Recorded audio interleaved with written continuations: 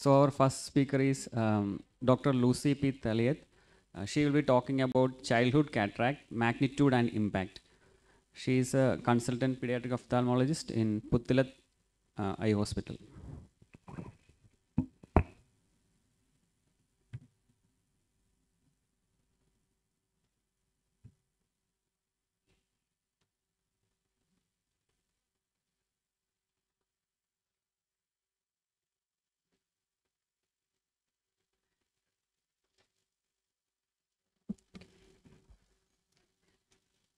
Good morning.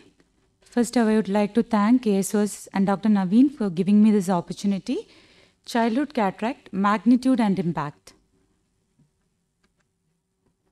Childhood blindness is one of the priorities in Vision 2020, the right to sight. Children who are blind have to overcome a lifetime of emotional, social, and economic difficulties which affect the child, the family, and the society. Loss of vision in children influence their education, employment, and social life. Childhood cataract blindness presents an enormous problem of human morbidity, economic loss, and social burden. It is estimated that there are 1.4 million blind children in the world. Two thirds of them live in the developing countries. The causes of blindness in children vary according to the region and the socioeconomic development. Various studies the, among the blind have reported pediatric cataracts as one of the leading but treatable cause of blindness. Approximately 70 million blind person years are caused by childhood blindness, of which about 10 million bl- blind person years, that is 14%, is due to childhood cataract. Cataract in children may be congenital or acquired, unilateral or bilateral. Over 90% of cataracts are congenital or developmental. Congenital cataract is any opacity found within the first few months of life, and developmental cataract is uh, cataract spotted in infancy and in early childhood. Congenital cataract produces form deprivation or amblyopia and results which uh, affects the child's educational and psychosocial development. In, in particular, congenital cataract affects more than the bilateral ca- uh, uh, unilateral cataract affects more than the bilateral cataract. Congenital cataracts have a better prognosis if identified early and surgery is done before six weeks, at six weeks. And developmental cataract has a better prognosis than congenital cataract. The diagnosis of cataract is incidentally made on routine screening in 41% of the cases, whereas leukocoria and strabismus lead to the diagnosis in 21% and 19% respectively.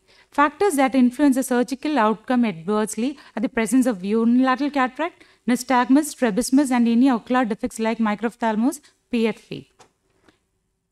Functional results after pediatric cataract surgeries depend not only on the anatomic success of the operation and postoperative maintenance of a clear visual optical axis, but even more on the aphakic visual rehabilitation.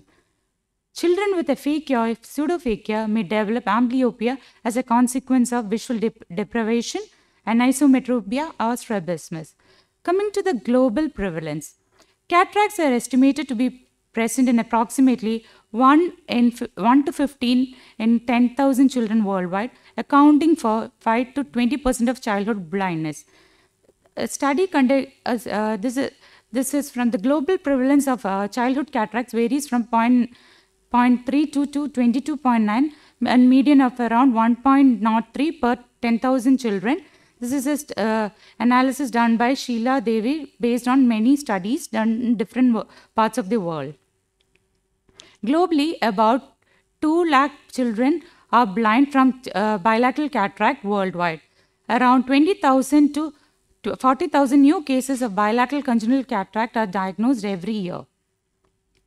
It has been estimated that over 21% of world's blind children owe their impairment to cataract, and cataract is the leading cause of childhood blindness in developing countries.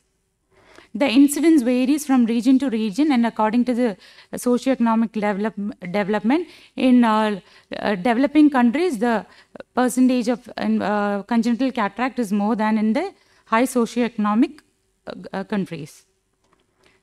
This is a world map showing congenital cataract as a proportion of childhood blindness. You can see in the higher socioeconomic uh, developed countries, the USA and UK, the percentage is less than the low uh, developing countries. This is a uh, meta-analysis done in Asia. Uh, using many studies done in, in the countries in Asia. You can see the prevalence in the various countries. And coming to the Indian scenario, in India, approximately 10% of chil- childhood blindness is caused by cataract, and half of the childhood, childhood cataract in uh, India are known to be id- idiopathic. Uh, the same journal which was discussed earlier, so uh, this is a prevalence in within India, and it varies from region to region.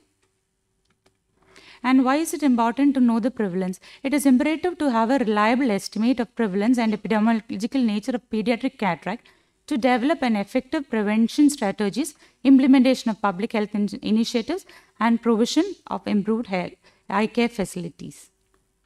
Thank you.